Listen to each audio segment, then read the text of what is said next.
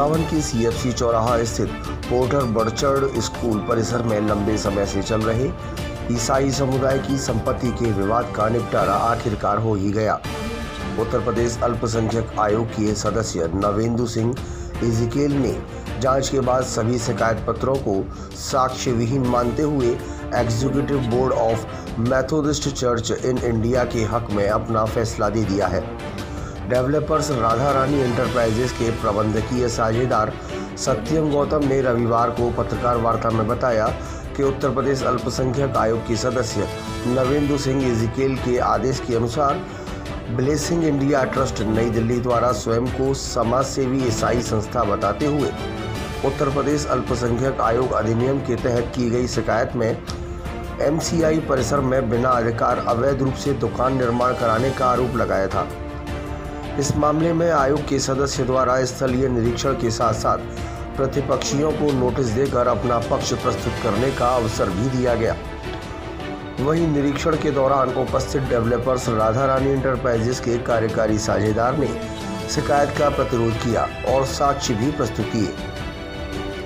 वहीं एमसीआई पदाधिकारियों ने साक्ष्य दिए कि स्कूल लगातार घाटे में चल रहा है, जिसे निपटाने के लिए संस्था के पास वित्तीय सहायता के लिए निष्प्रयोज्य भूमि के किनारे 1200 वर्ग मीटर पर 60 दुकानों का प्रस्ताव Agra regional conference of MCI द्वारा लाया गया, जिसे मैनेजिंग कमेटी एमसीआई मुंबई द्वारा जून 2006 में स्वीकृत किया गया, जबकि स्कूल वित्तीय सहायता के अभाव में वर्ष 2018 में बंद हो गया और अधूरा निर्माण खंडहर हो गया।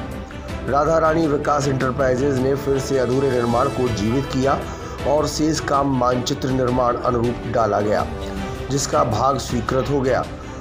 उन्होंने बताया कि आदेशानुसार शिकायत के क्रम में उपलब्ध रिकॉर्ड अनुरूप कोई भी अवैध कार्य नहीं किया गया है। शिकायत फर्जी मानते हुए उन्होंने इसे निरस्त कर दिया है।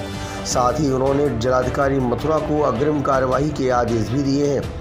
वहीं डेवलपर्स एवं एमसीआई संघ दुकानें बनाने के करार पर विकास प्राधिकरण को इसका नक्शा पास करने के भी निर्देश दिए हैं। बहुत सिंपल सा विवाद है। 2007 में इन दुकानों का निर्माण चालू हुआ। कागज़ ठीक ना होने की वजह से और आपसी विवादों की वजह से वो कार्य रुक गया, ठीक है? 2016 में सेम उस प्राइवेट मिशन संस्था से हमने अपना अग्रीमेंट किया। हम इस प्रोजेक्ट को वृंदावन में लेकर आए। 2016 में हमने 60 दुकानों का प्रोजेक्ट लिया, जिसमें से 25 दुकानों का कार्य पूर्ण किया। तब से लेके आज तक हमको आठ साल हो गए हैं। आठ साल से हमें लड़ाई लड़ रहे हैं कि हम कहीं पर गलत नहीं हैं। लेकिन बार बार बार बार एक ही इंसान, एक ही व्यक्ति जिनका नाम श्री मधुमंगल शुक्ला है, उनके द्वारा हमें परेशान करा जा रहा है। हमें बोला जा रहा है कि हम सब जगह पे गलत हैं, हम अवैध निर्माण कर रहे हैं, हमारे नक्शे पास नहीं है, हमारा कुछ नहीं है। हमारे नक्शे भी पास हैं, हमारा कार्य भी गलत नहीं है और ना और जो वो चाहते हैं ब्लैकमेलिंग ग्रुप, ना हम वो कर सकते क्योंकि हम लोग अपनी जगह पर सही हैं। ये लखनऊ का आदेश है। इसको जनवरी में पब्लिश हो चुका है ये। जिसको भी ये आदेश चाहिए, वो आरटीआई डाले, सही तरीके से काम करे जैसे हम कर रहे हैं। ना कि गलत तरीके से काम करे। हमसे पैसा मांगे, हमसे दुकान मांगे आरटीआई डाले, लखनऊ से अपनी आदेश की कॉपी ले और फिर उस पर विचार करें कि क्या हम गलत हैं या हम सही हैं। हम गलत होंगे तो हमको मथुरा का प्रशासन रोकेगा। हम सही होंगे तो हमको प्रशासन से भी क्लीन चिट मिलेगी, जैसे हमें लखनऊ आयोग से क्लीन चिट मिली है।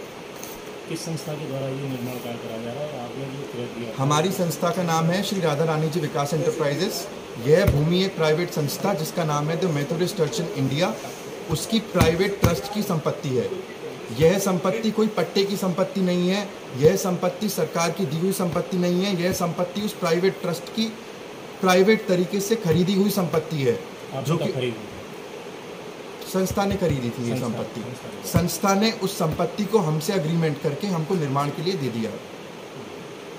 तो कितने क्षेत्र में आपको निर्माण करा जा रहा या हमारा हमारा निर्माण केवल रोड के दोनों कोनों में साठ दुकानों का प्रोजेक्ट है जिसमें हमारे पास में 1500 मीटर के आसपास शॉप के निर्माण के लिए लैंड है। उसके अतिरिक्त? उसके उसके अतिरिक्त मिशन कैंपस बिल्कुल सुरक्षित है। उसमें ना कोई अवैध कब्जा किया गया, यही सब बातें इस आदेश में लिखी हुई हैं।